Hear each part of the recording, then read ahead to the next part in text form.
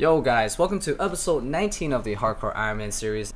And before we start today's episode, I want to make a very important announcement. So Jagex has officially announced the release day of Raids, and it will be coming out on the 5th. Raids will be the most difficult PVM challenge that Old School has to offer once it comes out. And of course, this Hardcore Iron Man isn't anywhere near the stats required to do something like that, so I won't be doing on that. But I do have a normal Iron Man that is more than capable of tackling something like that. So I will be making a return on my normal Iron Man just to make videos that is uh, mainly dedicated to raids. It's going to be like an episode type of thing. So for all my veteran viewers, rejoice because you're going to see episode 101 come back very soon. I don't plan on making like a full return yet just because I will be making a complete full return when my hardcore dies. But as for the raids, it will be at the very least a temporary return with maybe a few episodes. But anyways, enjoy today's episode. It's a good one, guys. So this is a 1000 point crate, so let's go ahead and check it out. Oh, nice. I got myself a Pyromancer hood. Okay, that's additional fire making experience, I guess, but yep.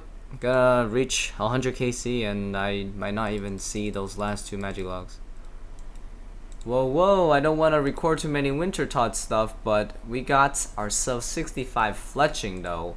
And at the same time, whoa, oh, goddamn, fire making levels be interrupted me. But as I was saying, managed to get myself 1,325 total, man. That is pretty damn good, guys. So guys, I've done 94 Wintertodt games now, and my fire making level 79, and it's higher than any of my combat stats. I guess this account is kind of skilling based, but I will change that very soon, you know, once I uh, work on combat again. But anyways, I decided that I'm done with Wintertodt. I will not be doing it anymore just because I'm quite sick of it and I realized that it is a pretty dumb idea to try to get mage logs at my woodcutting level there. Perhaps if I was 75 plus woodcutting, you know, I would get it at a more reasonable rate. But despite all of this, Wintertodt was a pretty decent investment. I got quite a bit of, you know, good rewards all across various skills. I got some auras, I got some herbs, I got some seeds for farming and all that. Here we go guys, the first hunter level back on the grind, 44 hunter. This is going by really fast. So I am now at 50 hunter now, so 8 more to go, but this is pretty damn fast. I'm getting 40k an hour, and right now levels only take around, you know, 10k or so a level. Sweet! Just hit 67 Slayer. Luckily I got myself a Helen task, so the AFK is pretty good. So this is the last Quebec I need, guys, because I'm now 58 Hunter. That is awesome. Here we go. Now I can catch Nature Implings. Honestly, this grind was uh, quite fast. Literally was getting, at this point, over 50k an hour, you know, consistently doing it pretty chill. Wow, this is a really good start. I got a freaking hard clue for my first Nature Impling, man. That's sick. Yes! Oh, yes, that took a while, but we finally got the two magic logs that I need for Desert Treasure. Oh, baby. Just from this alone, if you are not like 70 plus woodcutting and you're trying to get magic logs, specifically magic logs for Desert Treasure, do not do Wintertodt for it because as you can see if you've seen the last episode, so definitely get 58 Hunter if you're trying to get magic logs as quick as possible because this is many times faster than pretty much any other option really. Whoa, what in the world is this shit? That's crazy, man. That glitch, though. Three step easy clue from eclectic Impling. What we get? Ooh, ooh. Damn, dude. Two mithril trim pieces, man. Except they're different variations, but cool, man. Two unique items right there. Okay, we're past 20 wilderness once again. God damn, bro. This is kind of dangerous. But uh, so far, so good. I don't see Shit. Oh, I see somebody. Damn. That was close, bro. Okay, we got it. Oh my god, that wasn't even worth it, bro. This fucking clue told me to get a glory. Well, rest in peace. Totally forgot that I have one more skill requirement left for Desert Treasure, and that was thieving. So, yep, just got 46. And finally, here it is, guys. 53 thieving. So I stopped at 52 when I worked on Desert Treasure a bit already. I'm almost done at the thieving part. I thought I could boost, but yeah, I forgot you can't boost for it. So now let's finish this off. Oh, Jesus, almost ran out of lockpicks, but We got the Gilded Cross now, man. Ha, what? Freaking just got 71 magic. Off of killing my last Desert Treasure boss. But yeah, that's really good. Anyways, as you can see, I managed to uh, set it up so that the monsters are stuck behind this rat. You know, there's plenty of ways to get it stuck, but honestly, I would not try to kill Damis unless I have something like this set up so that just in case of DC or anything, I should be fine because he's really lethal.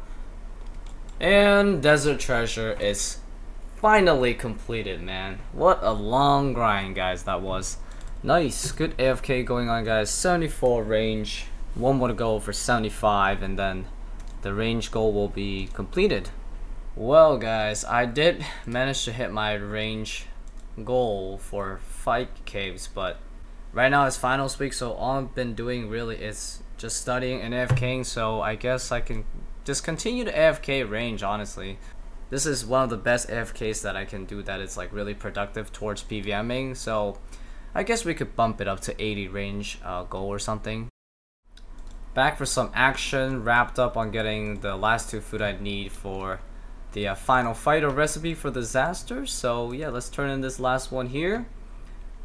And that's everything guys. It's time to do the final boss fight. So as you can see, Karamel has really shitty melee stats. She is barely hitting me. So yeah, just tank her and Major is a lot quicker because she won't freeze you as much. And that's it guys. Recipe for disaster is finally completed on this hardcore Iron Man. Woo! I mean, the whole grind, you know, towards this was certainly a lot more challenging because of the hardcore factor. But yes, it is time to upgrade, guys. I'm going straight from adamant gloves all the way to barrows gloves. Oh, yes. So now that I have this huge goal completed finally, let's talk about the next course of action. I've already mentioned the fire cape, so sometime soon I'll be going for the fire cape. But the first thing I want to do is uh, prioritize my time on doing barrows and slayer. So barrows, I want to get myself the tank legs and the tank helmet. I already got the body. So with that, I can uh, start preparing myself to go and camp Rex comfortably, Dagannoth Rex, for those rings and maybe a dragon axe Hell yeah, man. 68 Slayer, guys. Still at this task. This task is very long, but really good AFK and XP. So now I can kill Spiritual Warriors. Great. So that means Spiritual Creatures task will be pretty viable at this point, so wouldn't mind doing them at all. Alright, just hit 77 hit points, guys. Really? I'm gonna get 76 range off of this Saradomin Wizard. And now I hope the result is, you know, something amazing instead of me having to like, oh, I gotta drop the clue. So this is actually step number four. So we got a decent chance of finishing it. Oh god, this usually is gonna screw me up, huh? Oh, it didn't. Okay, okay, fifth step, guys. We got this. This is crazy, dude. Six step hard clue, man. And somehow I managed to make it all the way through, luckily. So this will be hard clue number two that I get to finish. So let's just see what we get, guys. Yes! Oh, yeah, baby! Black D'hide body. Oh.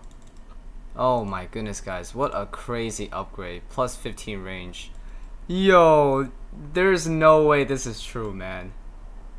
Okay, it is true, guys, because I just did it.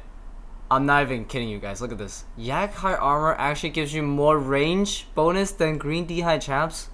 So, I managed to get another hard clue.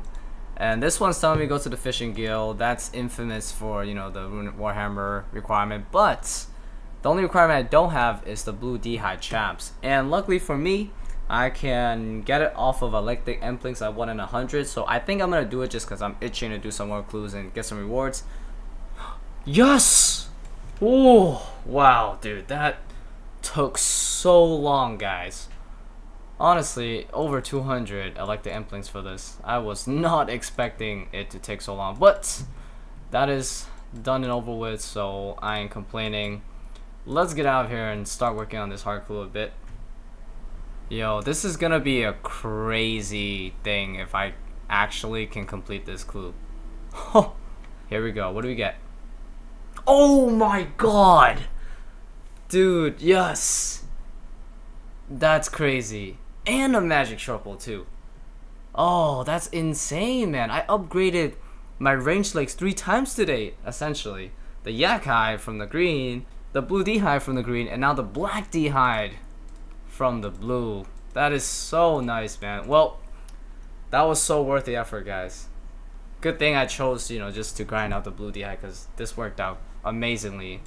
Magic Sharpple is really nice too, and the Bandos page, I forgot to mention that. Cool, man. Another God page. That's my second one so far on this account. Well, I'm totally amped that I have this now, so yeah, it's really nice. I got my long-term range gear all done now, so awesome. Alright, guys. That's gonna be it for today's episode, guys. Thank you guys so much for watching, and I hope you guys enjoy today's episode. So regarding IRL stuff, I am almost done with the semester. I just have to do one more final on Monday, but yeah, it's already the weekend basically. All my other finals are done and Friday, so I will definitely try to get the fire cape in the next episode. Okay, at least have some attempts in there. So yeah, definitely look forward to that. So for those of you guys that are about to be on holiday, happy holidays, and I hope to see you guys soon with another video of amazing games in a few days. Bye bye.